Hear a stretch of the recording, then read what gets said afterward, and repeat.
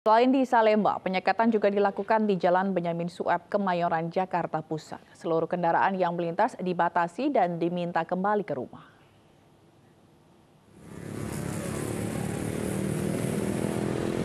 Petugas kepolisian dari unit lalu lintas Polres Metro Jakarta Pusat mulai menutup Jalan Benyamin Sueb, Kemayoran, Jakarta Pusat.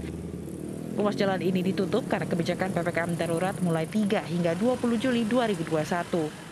Seluruh kendaraan baik roda 2 maupun 4 yang akan menuju Pademangan dari arah Kemayoran tidak bisa lagi melintas di Jalan Benyamin Sueb.